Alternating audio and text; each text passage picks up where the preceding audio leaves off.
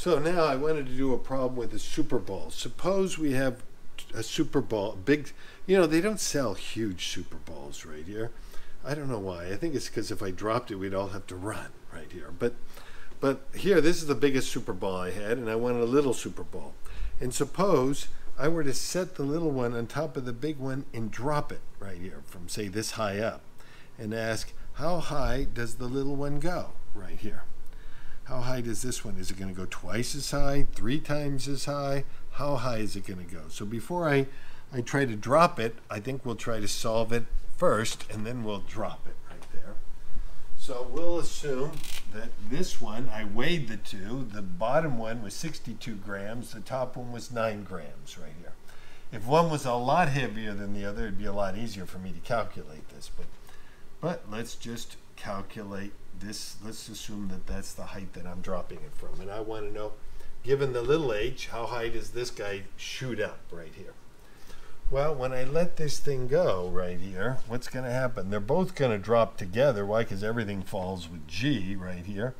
But I'm going to look at it just before the big one hits right here. This one's going downward right here. And if we wanted, let's just look at the big ball right here. We can just say the we could use your constant acceleration equations or we could just use the energy. When just looking at the big ball right here, it started from rest, so you had big M, G, H, and then when it got to the bottom, all that potential went into kinetic. It all went into 1 half big M V squared. Well, I can solve, get rid of the m's, and so we got the velocity. That is the square root of 2gh. So that's the speed that this is going down. This is going down with a speed of the square root of 2gh. This one is also coming down with the same speed. It dropped h2, and it doesn't depend on the mass, so he's also coming down with the square root of 2gh. But now, the big one, there's going to be a little gap in there. The big one's going to hit the ground first and then bounce back up right here. And now you might say, what's the speed that the super ball is going to bounce back up? Well, if it's a nice, perfect super ball, it's going to bounce at the same speed it came in. It pretty much goes back up to the same height. So this is also the speed that it bounced back up. So we have the big ball going up at this speed, and we have the little ball coming down at that speed. So I'm going to draw that right over here.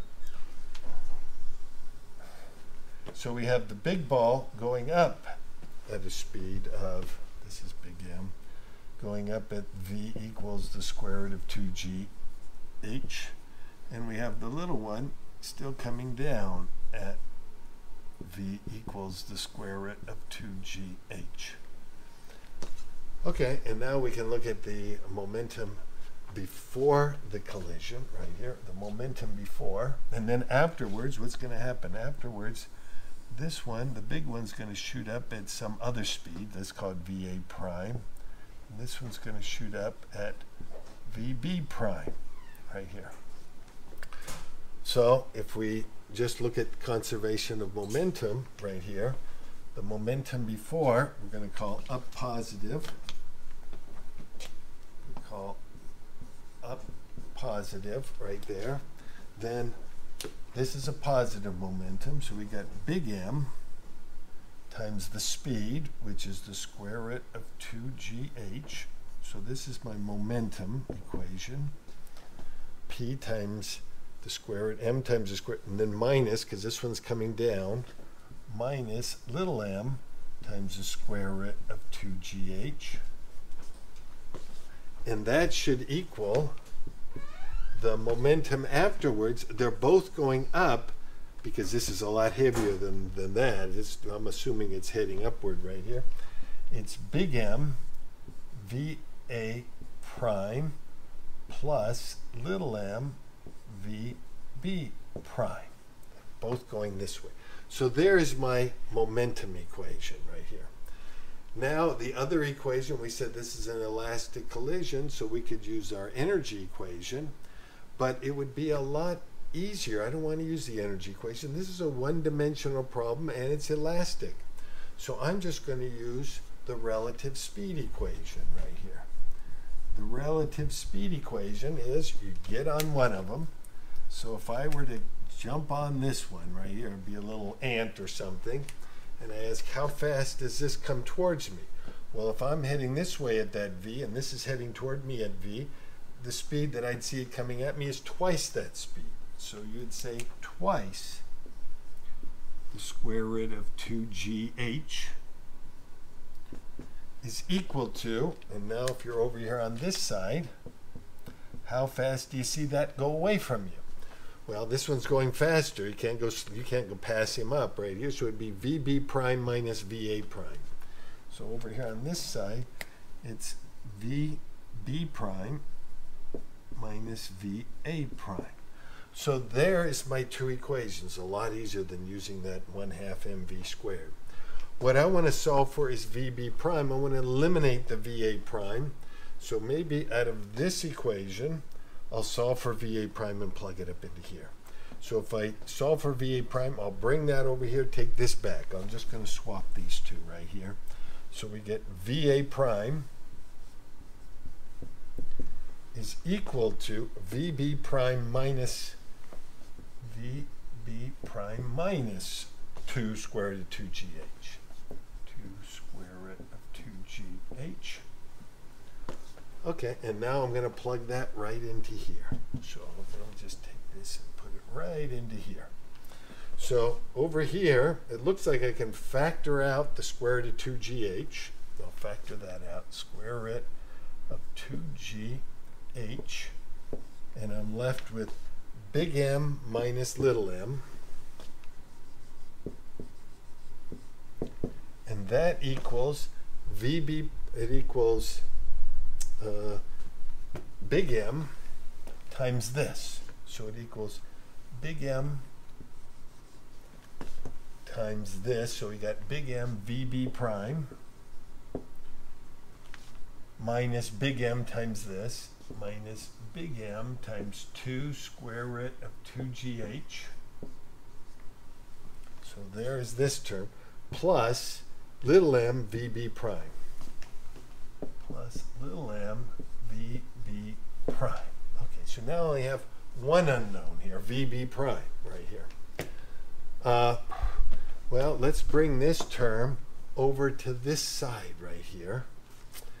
And you notice right here, I can, since I have a square root of 2gh, and when I now factor it out of the three, this term and that term, I got 2gh we got big M, but I'm going to bring over another 2 big M, so that's 3 big M minus little m.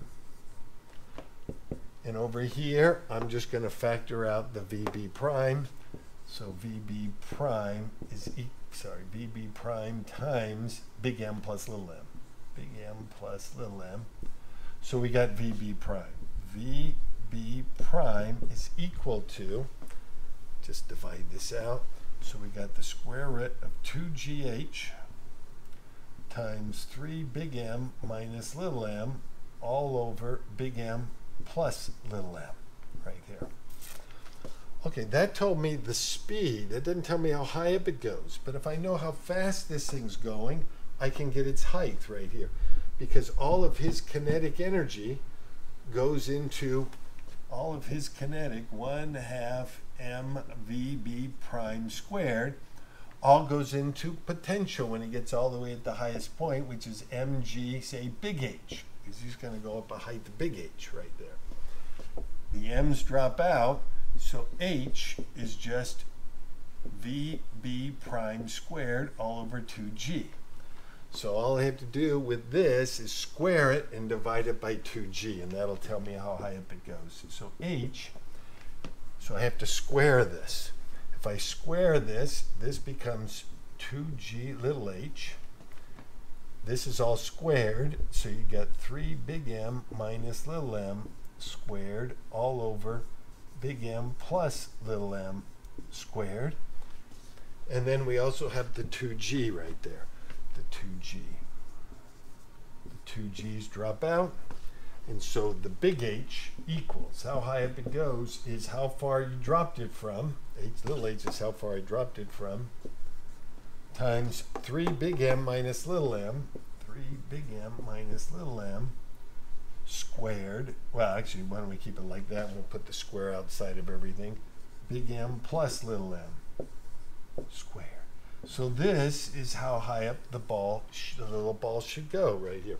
Now you'll notice that if the little ball was insignificant compared to the big ball, if this were huge and this were tiny, then we could have probably just gotten rid of this and you would have just had three squared, it would have gone nine times higher right here.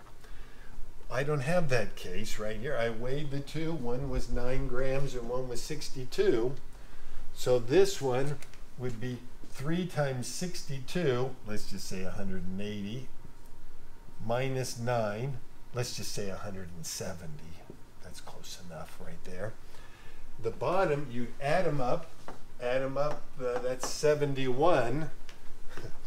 71, how about if I just say 70?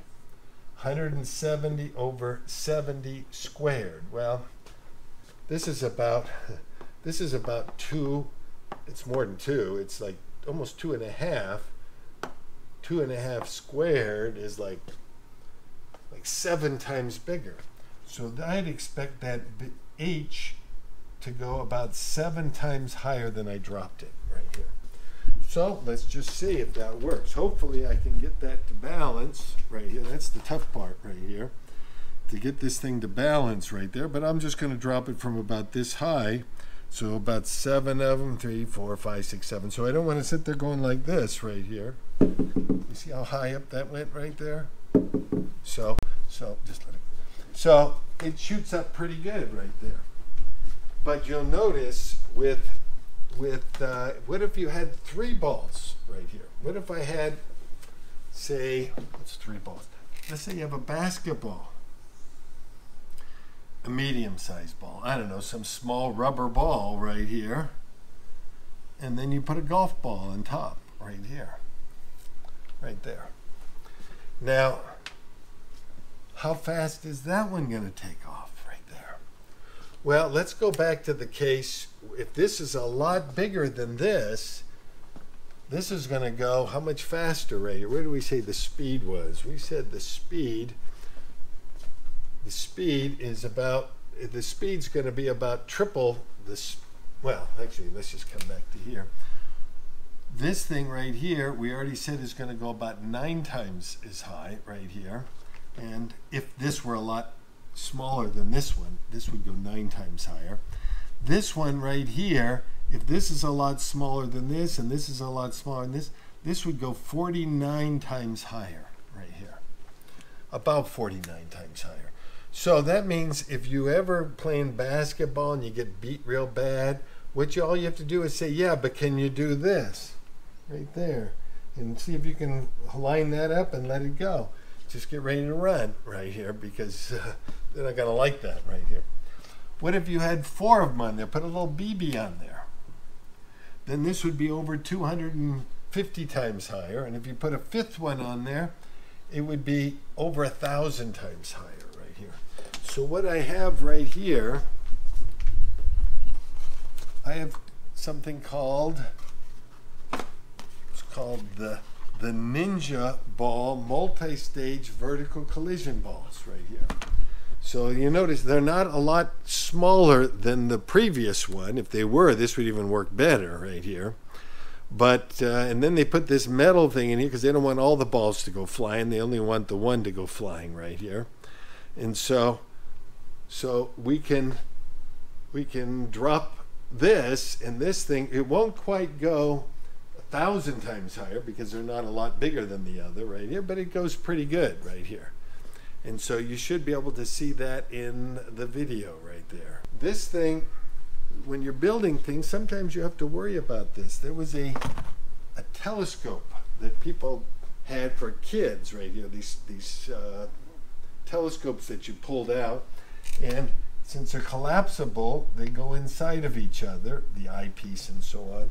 And they didn't realize it, but if you dropped it on its edge, so, so the telescope was inside the pieces right here and pulled out. But if you dropped it on its edge, it kind of did the same thing, and the little piece on the inside shot out right here. And so, So you have to think about these things. You're never building it so that people will drop it, but sometimes you have to worry about this.